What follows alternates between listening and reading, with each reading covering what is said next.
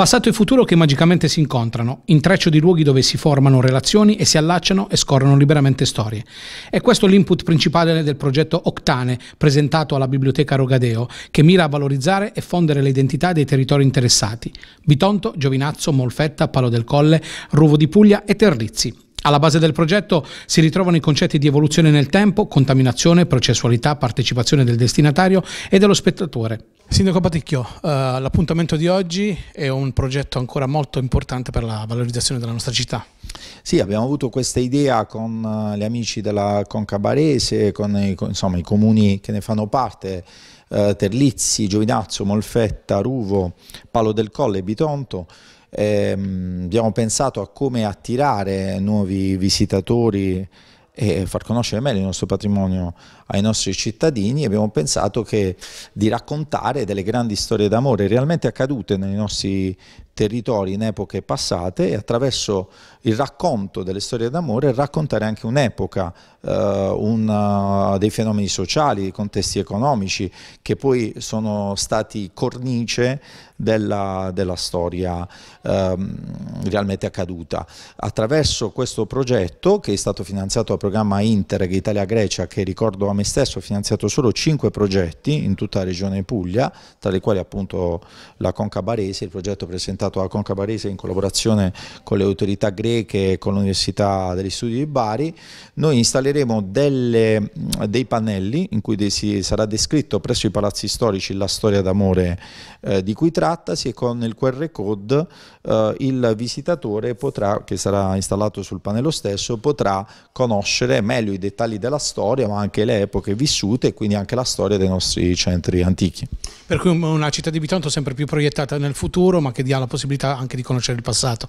Sì, cioè, più che altro noi cerchiamo di intendere il turista innanzitutto come il nostro cittadino e che quindi possa innamorarsi sempre di più della, della sua città e capirne anche la valenza storica e poi rivolgerci anche ai fruitori della Puglia stessa che magari avviano uh, un, un, nuovo canale di interesse verso appunto quello che è stato nelle nostre epoche attraverso il racconto di persone comuni come me e te. Fondamentale sarà l'apporto di artisti, scenografi e costumisti, in grado di ricreare le ambientazioni e i costumi dell'epoca, ma anche di produttori locali del settore enogastronomico, capaci di far apprezzare i sapori delle terre interessate. L'obiettivo è quello di creare un maggior coinvolgimento dello spettatore, ma soprattutto riuscire nel reale intento del progetto, raccontare, far rivivere, far conoscere alcuni spaccati della storia locale, la storia di alcuni edifici storici presenti sul territorio e gli usi e i costumi dimenticati. Michelangelo De Palma, uno dei responsabili di questo progetto Octane, eh, posso chiederti come mai la scelta di questa eh, zona della Conca Barese piuttosto che un'altra?